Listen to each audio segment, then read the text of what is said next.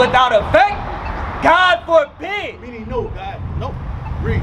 Yea, let God be true. Like what? Let God be true. Uh-huh. But every man a liar. So I got a question, sis. How you let God be true and every man a liar?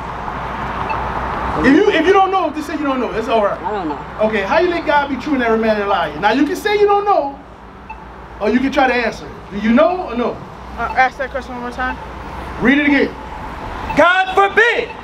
Let God be true, but every man a liar. Let God be true and every man a liar. So if you ain't hear from God, it's a lie. There you go. There you go. So watch this. So watch this. So if I step to you and say, Eve have sex, uh, uh, uh, he, uh, he, they bit the apple. If it ain't coming from the Bible, then guess what? I'm lying. That's right. Read it again.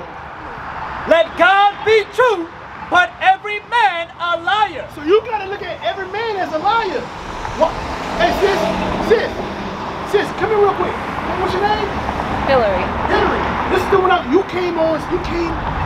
Sis, what right here? Cause I know you. I'm, listen, Okay. I'm, I have to take these pictures, but my dad is sick and I have to rush all there. right. I'm in the. I don't want to stop you from Yes, your sick dad. thank- All right, read. Let God be true, but every man a liar. Uh huh. As it is written. As what?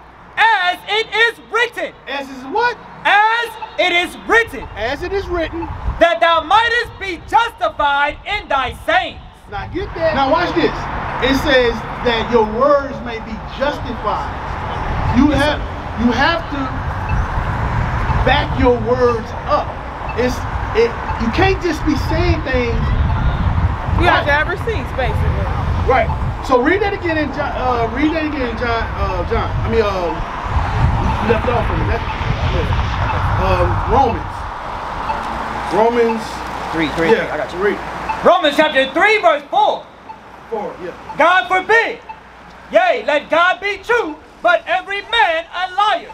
As it is written, that thou mightest be justified in thy sayings. So when Christ comes, guess what's gonna happen? People gonna get punished for pushing this, for saying all kind of stuff. So you gotta be careful what you say about the Bible. Because you're gonna get punished for it, sister. You are you married?